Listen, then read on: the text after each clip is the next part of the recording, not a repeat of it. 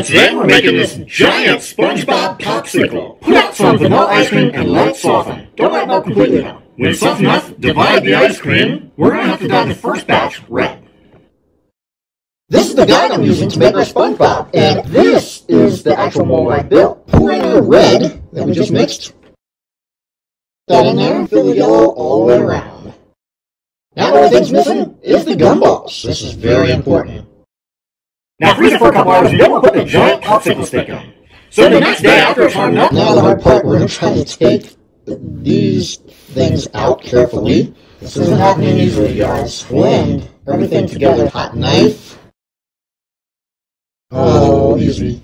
Oh no, I know this really doesn't look too good. now it's time for the test test.